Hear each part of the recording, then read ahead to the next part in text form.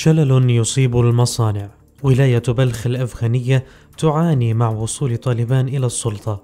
الولاية الاقتصادية التي تعج بالمصانع كانت منطقة لآلاف العمال والصناعيين الذين كانوا يقودون اقتصاد البلاد، لكن الآن الأوضاع تغيرت مع استعادة طالبان للسلطة. المسؤولون في بلخ رصدوا عدة مشاكل لدى التجار والمصانع أدت إلى توقف المصانع عن العمل، ما أثر بشكل مباشر على حياة الناس فيها الأغنياء والفقراء على حد سواء. از ظرفیت 6 تن تا ظرفیت 350 تن در 24 ساعت تولیدات دارن 49 فابریکه داریم و از این 49 فابریکه ممکن حدودا یک 5 فیصد از اینا فعال باشه به خاطر که ما امروز به گندم دسترسی نداریم و زراعت خودمون شما فعلا خشکسالی است زراعت قوي نداریم به فابریکا گندم رسانده بتانن. غرفة بلخ للصناعة والمناجم تقول إن أصحاب المصانع يعجزون عن تحويل الأموال إلى الخارج من خلال البنوك لشراء المواد الخام والحفاظ على نشاط عجلات المصانع. امارت اسلامی افغانستان احترامانه تقاضا میکنم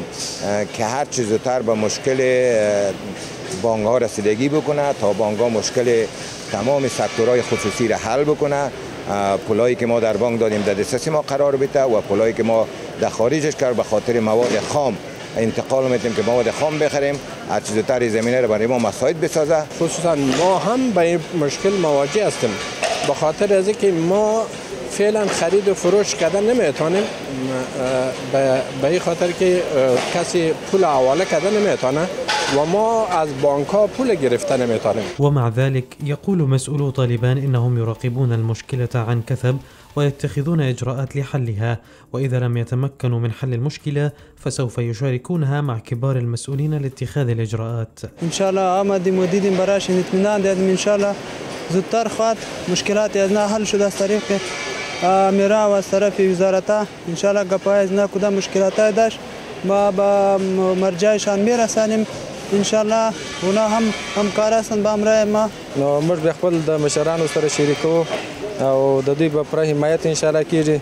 نو تمه ده چې په راتلونکي کې به ان شاء الله ټول مشکلات الله پاک ورته حل کړي. المسؤولون في غرفة بلخ للصناعة والمناجم يقولون إن 400 مصنع موجود في الولاية.